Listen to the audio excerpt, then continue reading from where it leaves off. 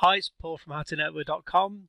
Just another idea I had of, uh, as you can see from the title, I came up with 11 things that every network engineer should be able to do, and this is based on my experience of working for several companies as an employee, a contractor, consultant, etc. And it's normally when something happens or there's an incident or a question, and somebody turns to a network engineer and they don't know the answer. And this is where you start thinking, well, you kind of should have known this stuff because it's your job as a network engineer. So we're going to share them with you. If you only know a few of them, don't worry, don't knock yourself and make a list and, and start thinking about ways you can learn these skills and improve upon them because it makes you better at your job. You're less likely to get in trouble and you're probably going to earn more money and it'll give you more opportunities. So this is why IT is probably one of the best careers out there. So uh, without further ado, we'll get started.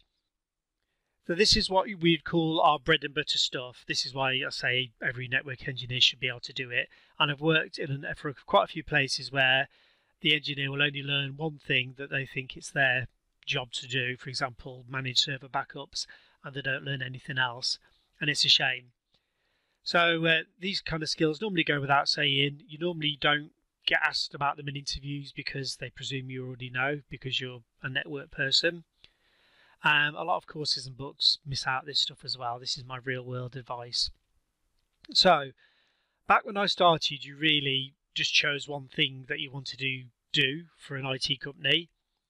You would have a cable engineer, someone that just looked after servers but they wouldn't touch a cable, uh, somebody that looked after the backups and uh, re, re uh, replacing software from backups if there was a loss of data, someone who looked after the email server and nothing else and you imagine like the email engineer, for example, who doesn't understand IP addressing or some basic security or basic networking, they're going to have a problem doing their job if something goes wrong. Now, um, 2019, you need to be able to do all of these. I'm not saying be an expert, but just be able to do them. So, a bit of security, design, uh, a little bit of pro managing projects, troubleshoot uh, issues, create procedures and processes normally there's a legal requirement for you to do this. So it's not just because it makes good business sense, but because you actually have to have documentation and a chain of custody and prove that data has been kept securely, etc. So I'll start, this is in no particular order, but if I was going to have a number one, it would be this. Explain TCP IP top to bottom. You need to be really familiar with TCP IP, uh, packet frames and bits, how they're made, and what the difference is. Obviously, the OSI model as well for context. All the services um, contained in TCP/IP, DNS, SSH, Ping, Telnet. How do you use them? What they're used for? Which of these will you use for which problems? When you get a phone call and say that something's broken, what what would be your go-to tool or command for that problem?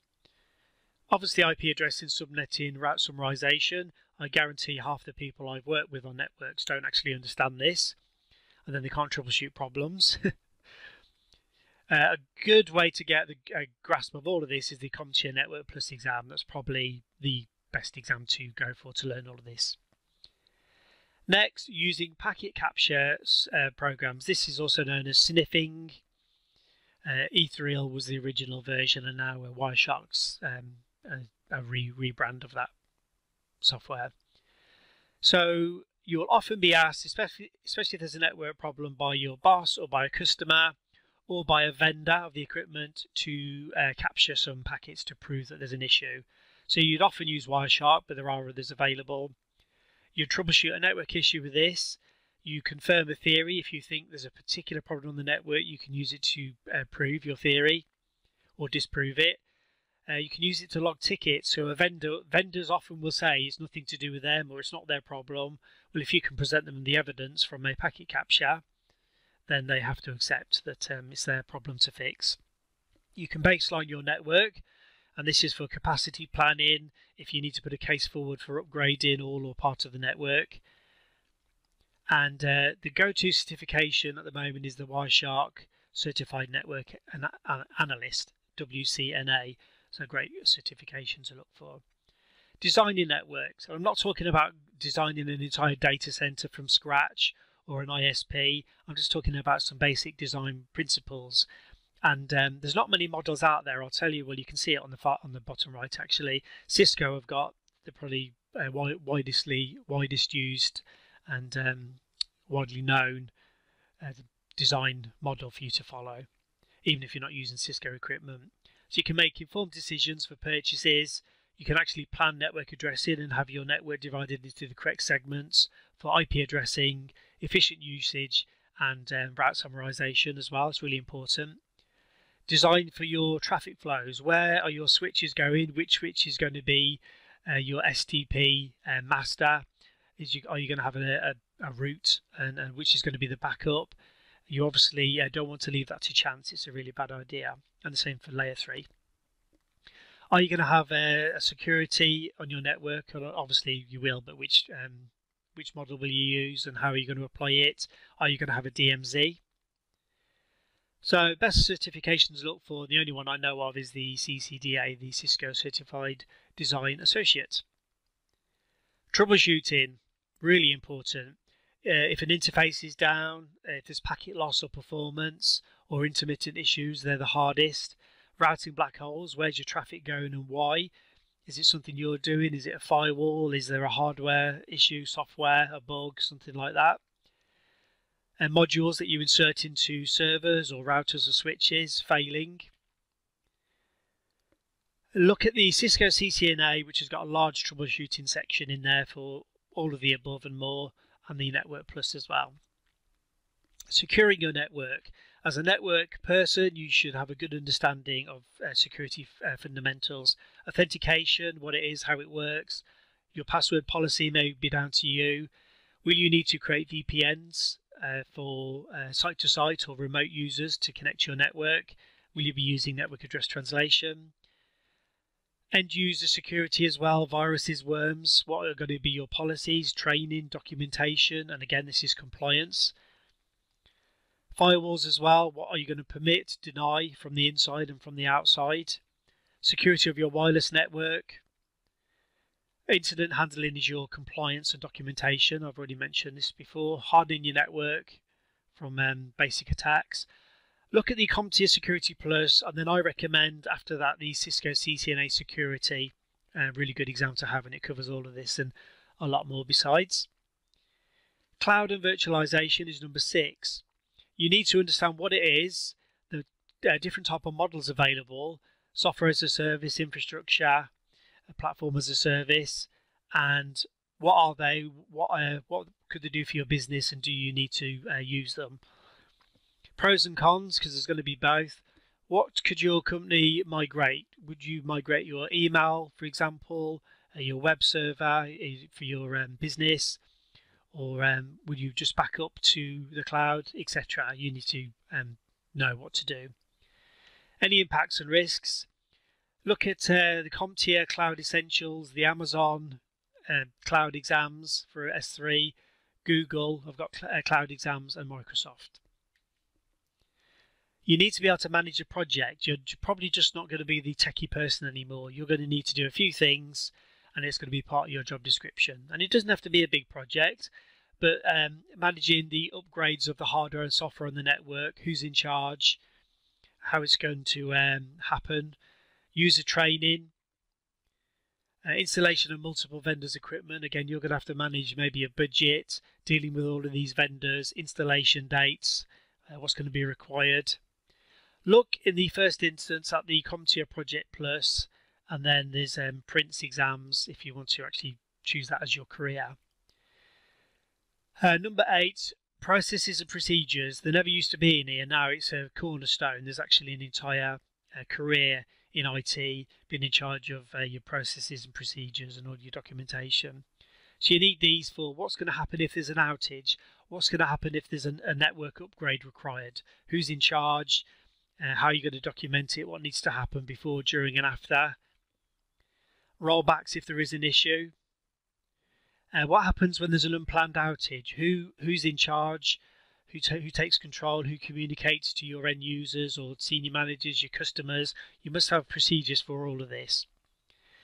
Who reports incidents? Um, you need to normally have a designated person who will uh, receive all of the initial complaints and then they'll interface with the uh, teams who can actually deal with it. Escalation, and then there's the um, inevitable uh, meeting afterwards, and they talk about uh, what caused it, how can we prevent it, and do we need to change procedures or have more training. I recommend looking at the ITIL Foundation. That's a great place to start. And I've worked in places that use the ITIL model, and it's worked really well for us.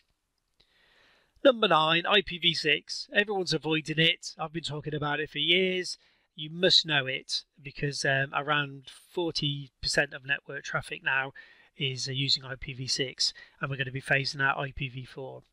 So you must know it in good detail.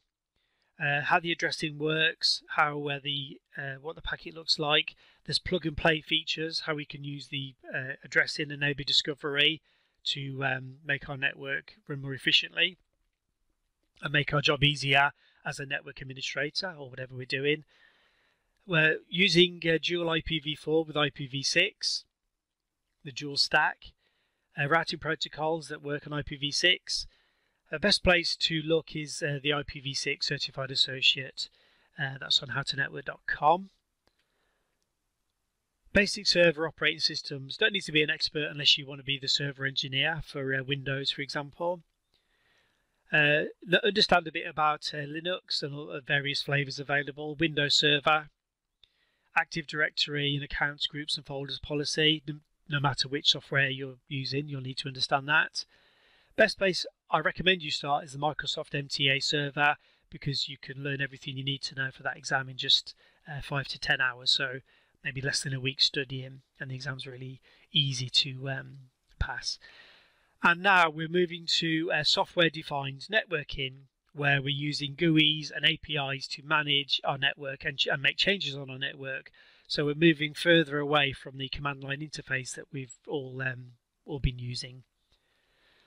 So um, I've mentioned APIs. Uh, this is the future. It's actually in use now, and the next version of the CCNA, which is due very soon, is going to be um, featuring software-defined networking. So some basic uh, coding. You don't don't need to be an expert. You just need to know a little bit about it. So learn a little bit about Python, learn a bit about Java. There's loads of tutorials out there. Uh, you personally need to aim for roughly an hour a day if you can, and if um, you can do that while you're at work, even better. Read uh, read books, e-books, or um, hardback books watch some videos on YouTube or various learning websites. Just keep up to date with what's happening in the industry on uh, Facebook groups and read whatever journals apply to your industry. And you need to aim for a certification around every three months. May take a bit longer depending on what it is, but around every three months. So, strangely enough, every course I've mentioned and uh, knowledge area we have on howtonetwork.com.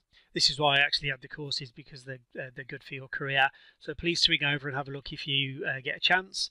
If you're watching this video, you can get um, a dollar's access. After you've looked at the website, go to this URL, howtonetwork.com forward slash YouTube, HTTPS, make sure you put that. Uh, have a look through all the courses and then choose whichever one you want to start with. You can use, um, you can go through all of them one at a time. Loads of practice exams, live Cisco racks 24 7, loads of experts on the forum to help you, and we'll give you some really good career training. So um, thanks for listening to me again. If uh, you do like this video, please subscribe and um, make a comment. It really helps, and I'll see you in the next video.